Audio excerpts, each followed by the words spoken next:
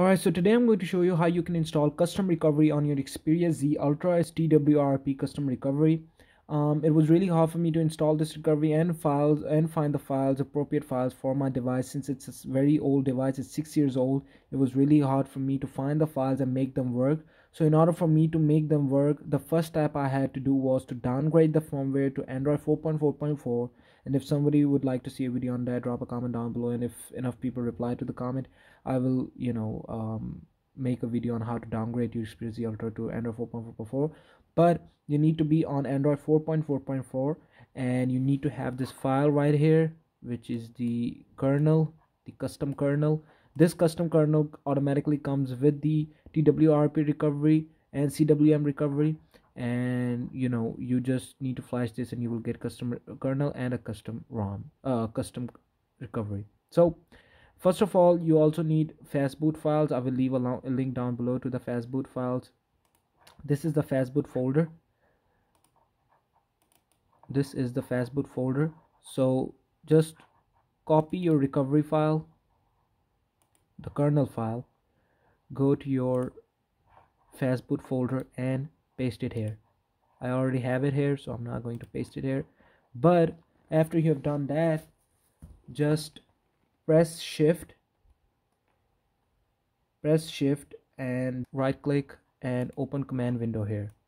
So to check if your device is connected or not one other very major thing.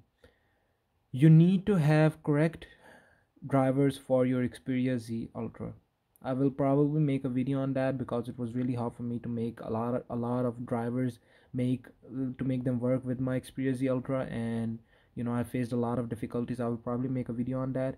But um, as for now you need to have correct drivers for your Xperia Z Ultra. Now on your phone power it off.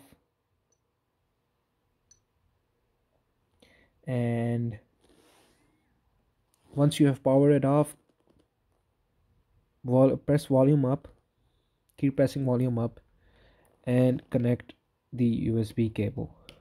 Keep pressing the volume up button until you see this blue LED now now your device is in fast boot mode and if the correct drivers are installed your PC will recognize your phone.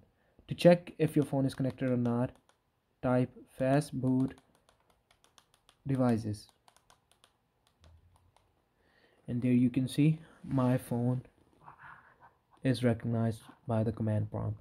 Here you need to paste a simple command. I will leave the command down below. You can just copy it and paste it over here. The command is this.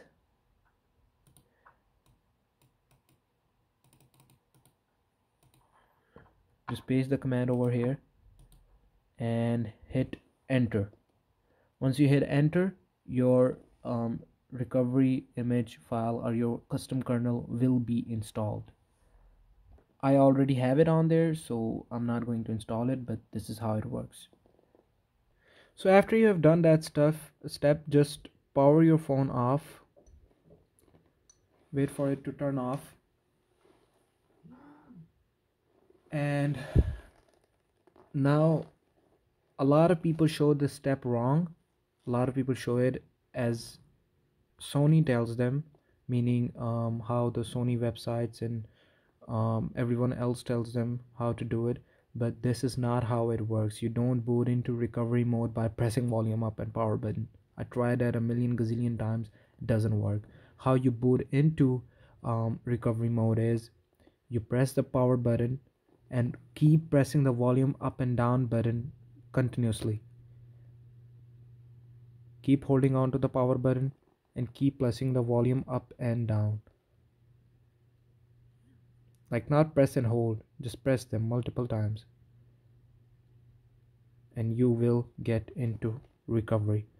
And as you can see, here we have TWRP recovery. Now, to root the device, you need to install SuperSU zip. I will leave a link down below to download the SuperSU zip file. Just simply hit install go here. Here's the update dot zip file. Swipe to flash and you will be rooted. So now we will reboot the device and I will show you that custom recovery. And by the way this is the creator of the kernel that I'm showing right now and this is the name of the guy. And I will leave a link down below to his XDA um, thread where he explained everything like in 2014 I guess almost five six years ago. Now it's time to check if I'm rooted or not which I already am. I've checked it before but let me check again.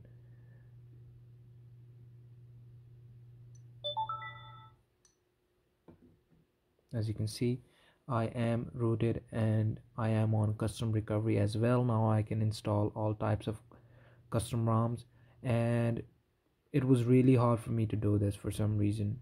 With all the android phones i've used i've never faced this type of difficulty with all of the phones that i have used. It was really hard for me to do all of this stuff. I had to unlock the bootloader. I had to um, install the correct drivers because i was not getting the correct drivers. I had to get correct drivers.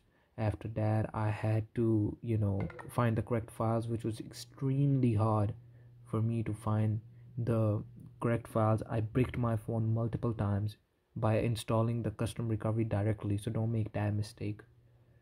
So now we are done and if you want to see more videos on this device I bought this new for pretty cheap but I'm planning on making content more content on this device. So do leave a comment down below and tell me what content you would like to see on this device. Until then thank you very much